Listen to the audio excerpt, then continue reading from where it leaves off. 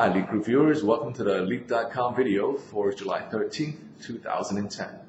The earnings season, at least, is getting off on the right foot. Uh, yesterday, Alcoa officially kicked off the season by beating expectations, and today, after the closing bell, Intel also uh, announced better than expected results, uh, earning 2.89 billion dollars in the latest quarter, good for about um, good for 51 cents per share. The street had called for uh, earnings of 43 cents per share, so this was a pretty substantial beat. Uh, in fact, this is the best quarterly profit for Intel since the heydays of the dot-com boom, way back in the year 2000. The better than expected start to the earnings season uh, is easing investor concern somewhat of a uh, possibility of uh, a double-digit recession. But uh, make no mistake, serious headwinds still remain for the economy uh, we still would expect limited upside in the market, and it would not surprise us to see stocks re-challenge their recent lows.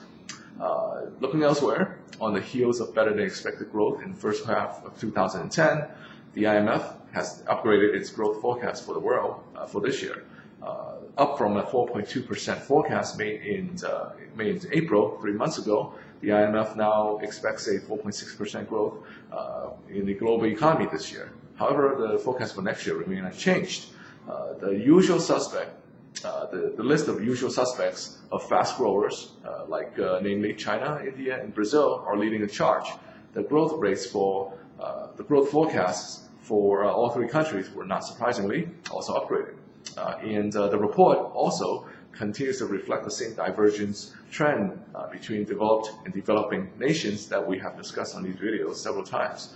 Uh, however, even as it issued its more optimistic outlook, the IMF is also urging countries to implement plans to lower deficits uh, over the next few years, uh, citing financial risks uh, threatening uh, global economic recovery.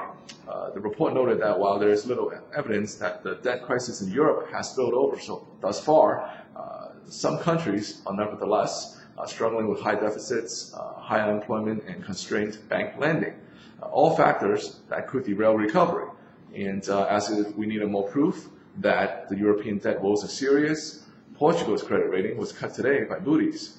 Uh, however, stock markets uh, are largely ignoring the event today uh, based on optimism generated by successful short-term debt sales in Greece and of course by the better than expected start to the earnings season in the US.